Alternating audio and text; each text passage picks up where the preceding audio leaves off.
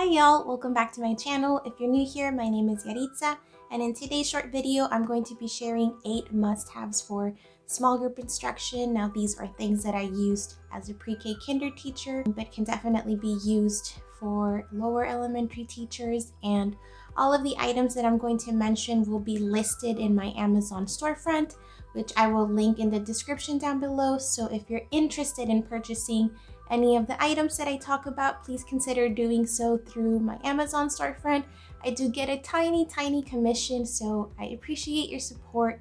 And I also want to thank GameNote slash JoyNote for sending me four really, really awesome products that I'm going to share with you all. So let's get started.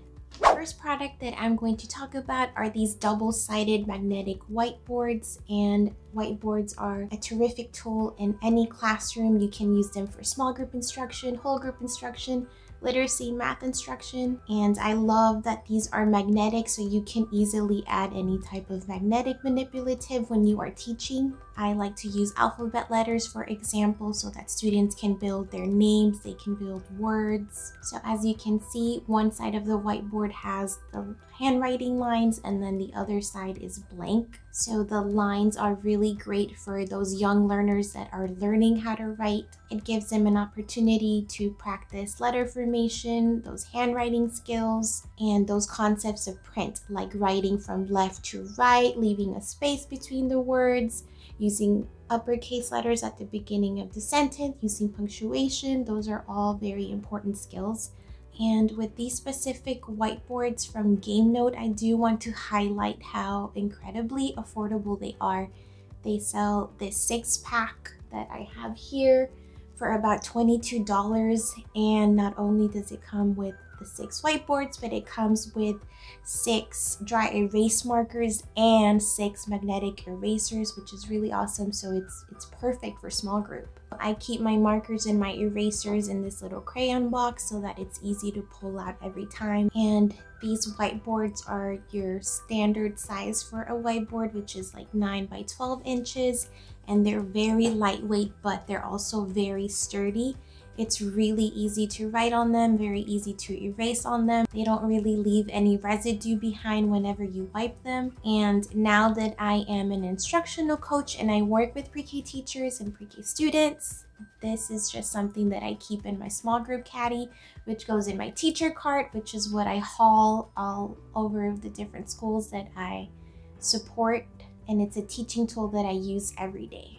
Next item is a class set of magnetic letters, which is a big must-have for any lower elementary teacher. So when you receive this product, you receive all 234 letters inside of this plastic storage box, which is very sturdy but very compact, which I love because it's also something that I carry around in my teacher cart. Of those 234 letters, you have 182 lowercase letters and 52 uppercase letters. And you also receive one double-sided magnetic writing board and three small little dry erase markers and a magnetic eraser. And you also get a couple of question marks and exclamation marks as a little bonus. If you look at the back of the letters, that's where all of the magnet is and the front of the letter is made of foam. You can also see that the vowels are red and the consonants are blue, so that helps reinforce the concept of vowels and consonants. It's especially important when we start teaching kids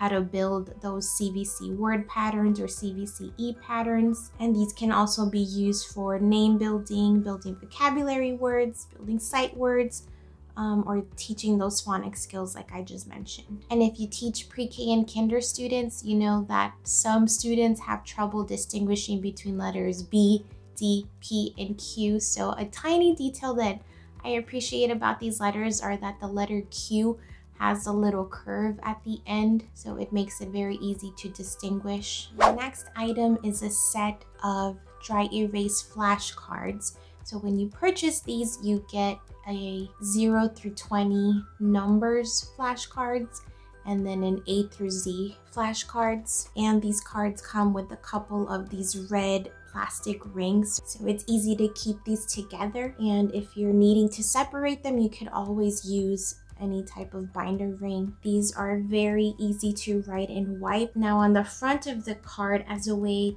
to provide that visual scaffold if a student it still does not know their numbers, that 10 frame in the front is going to have that number of circles that to represent the numeral. And then the back of the card is going to provide them an opportunity to trace the number and then write it by themselves. And it has an additional 10 frame. And for the alphabet cards, again, these are A through Z, but I actually divided mine up into different sets. So that's something you can do if you have just one set, you can divide it into different sets. And the way that I did that was by classifying the letters into letters that have straight lines, letters that have curvy lines, letters that have straight and curvy lines, and then letters that have those slanted lines and curvy lines. And on the front of the card, you're going to see the uppercase and lowercase letter, as well as a picture to represent something with that beginning sound. So for letter T, for example, we have a tiger. And on the back of the card, students can practice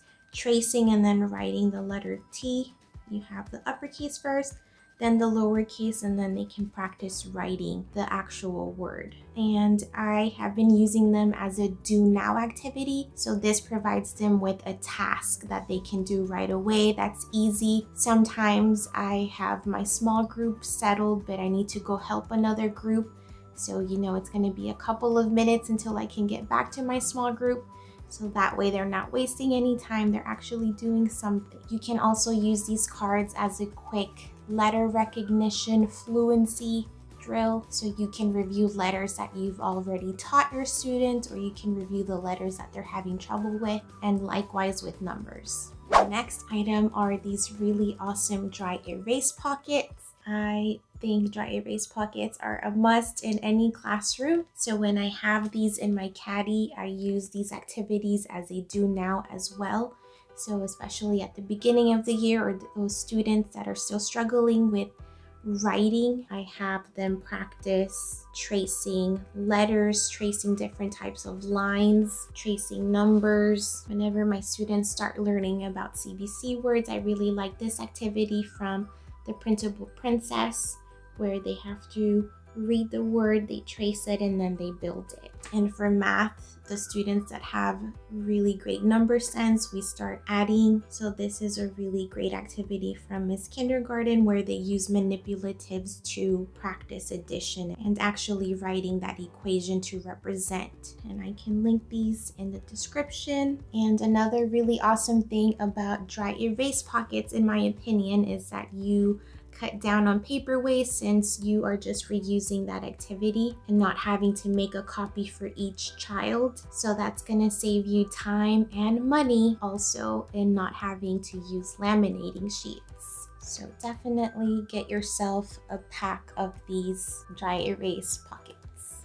Next product that I'm going to recommend are these zipper pouches, which I use to separate my different activities in, but I have also seen teachers use it as like organizational baggies. So if you need to put away pencils, markers, math manipulatives. It could be used as an organizational tool as well. And these baggies are kind of white, but they're also see-through, which I like, so I don't have to be guessing what's inside of each bag. And as I said, I use them to store printable activities. So right now, these are some things that I'm working on with my pre-K small groups. I have these beginning sound cards, which are from my Teachers Pay Teacher store. I also have these CVC rhyming word puzzles. It comes in two options. One set is going to have the actual CVC word, and you can find another set that does not have the CVC word. We know that rhyming is a phonological awareness skill, meaning that it is just auditory, but if you want your students to record or you want them to make that letter sound correspondence connection, then it does become phonics instruction. And I have some tier one groups that are working on CVC words. And I like these CVC cards from Natalie Lynn Kindergarten. They're all missing the initial sound, but the students have also been practicing how to segment that initial middle, and ending sound. And another activity that I recently created are these CVC cards, which are also available with the word or without the word. And segmenting is a phonemic awareness skill. So listening to those individual sounds in the word. So one quick activity that we have been doing using our whiteboards is for students to be listening to that beginning, middle, and ending sound and trying to spell those CVC words. And you can also use them for rhyming and for sorting word families. The next item is a clipboard. One of the most important aspects of small group is making sure that you are documenting what you are doing with your students. And an easy way to do that is to make sure that you have a clipboard and you have some sort of anecdotal notes or some sort of documentation where you are keeping track. Now, this is a free download in my Teachers Pay Teacher store that I will link down below. And in this sheet, you can document up to six students. You write down their name, the date, what skill you're working on, and just some brief notes. There's also another option where you can document up to four students. And there's also a couple of options for whole group documentation. So that's what that sheet looks like. Very first activities that I introduce when using these clipboards involve syllables. So here I have some syllable cards. And again, this is another phonological phonological awareness activity. So first we focus on that auditory skill and we use manipulatives to listen to those parts of the words. And then the next step is to introduce them to kind of an extension activity. So this is a free download in my Teachers Pay Teachers store and it's a recording sheet once students are getting the hang of that syllabication skill. I also want them to record. So in this space, they record the word and we know with pre-K and kinder students, they're just learning how to write. The simple task of copying a word is very beneficial for them because they're learning to follow that letter sequence. They're learning that they have to write from left to right, and it's building that writing stamina. It's helping strengthen those fine motor muscles in their hand. So they record the word and then they can color or we use dab markers to tell how many syllables the word has.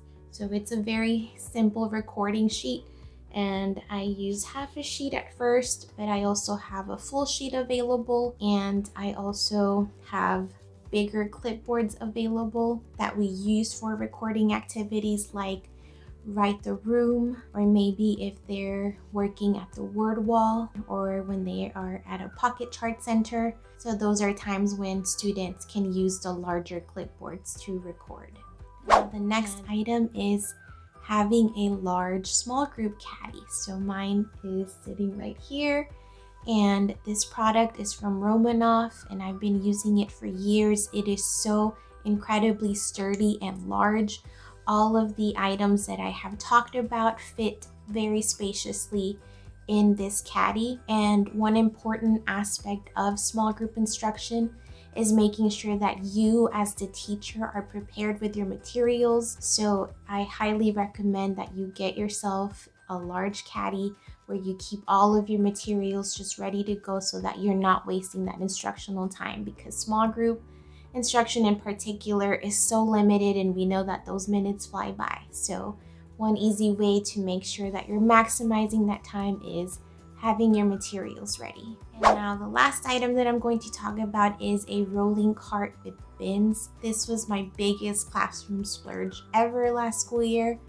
but it was so worth it and I actually wish that I had purchased it earlier. Not only is it a small group must have, but I think it's just like overall a teacher must have because it can help you stay organized. I personally bought the 15 bin one and so in the smaller ones, that's how I kept all of my copies organized. And then in the bigger bins is where I kept more of my small group materials. These bins just help me stay sort organized and so I could plan ahead and I could pull the different activities or the copies that I needed for that specific group. And that's it for my eight must-haves. If you want to learn more about small group instruction in particular, I do have a video detailing five tips for effective small group instruction for pre-K and kinder teachers that I will also link down below. And I will be posting another video on small group instruction that's really going to break it down even further.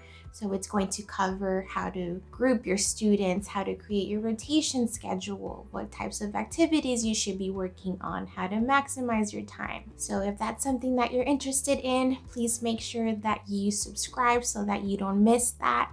I hope that this video was helpful and if so, please make sure to give it a thumbs up.